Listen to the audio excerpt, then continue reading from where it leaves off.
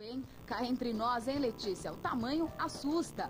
Mas não demorou para a pequena de apenas 3 anos se sentir à vontade ao montar o animal.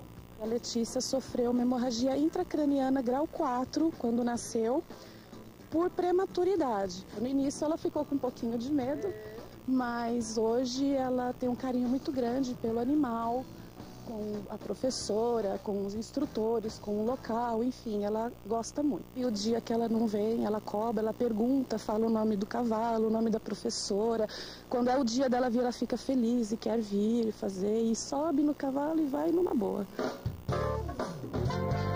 Gracinda, Marcos e Lucas também fazem ecoterapia e adoram a experiência. Marcos faz ecoterapia há dois meses e seu pai já percebe o resultado. Ele se mostra mais interessado, tranquilo, né? Depois que ele sai daqui, ele é mais tranquilo, porque ele é uma, uma criança muito agitada, muito atenciosa, assim, com as coisas. Então, quando ele sai daqui, ele sai mais tranquilo, né? O responsável por tudo isso é o fisioterapeuta Fernando Guimarães. Ele trabalha há 20 anos com ecoterapia e atende 92 pacientes por dia. Ele garante que em apenas três meses já é possível ter um bom resultado, mas alerta. Tudo que diz respeito à parte do equilíbrio, da postura, da coordenação, da melhora da marcha, da melhora da simetria, diminuição de espacidade, melhora da qualidade do tônus, melhora das reações de proteção e equilíbrio, quer dizer, são muitas coisas que a gente consegue ganhar. Não existe milagre, é uma complementação das terapias convencionais, mas a gente vê um retorno neurológico muito grande nisso. O cavalo, durante esses 30 minutos de terapia, ele passa mais de 7 mil deslocamentos sobre, para o corpo da criança, do paciente. E a gente espera que, se, que se ele estiver bem posicionado, isso vai contribuir. Agora, se ele estiver mal posicionado, são 7 mil deslocamentos errados.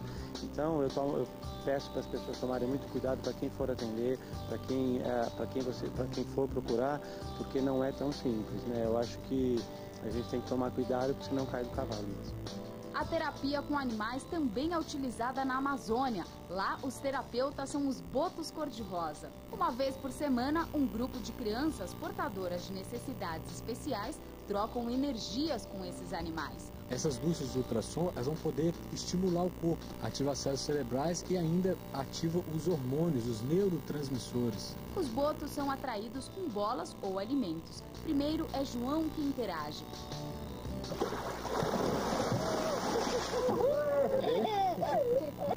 Depois é a vez de Leonardo. Em muitas regiões, os botos são criados em cativeiros, mas na Amazônia são livres, o que potencializa a reabilitação das crianças.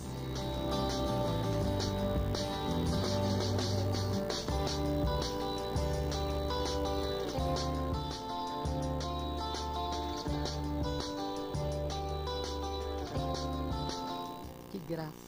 Deixa eu dar um recado bem legal agora para você. Guarde bem esse nome. Red Apple, uma marca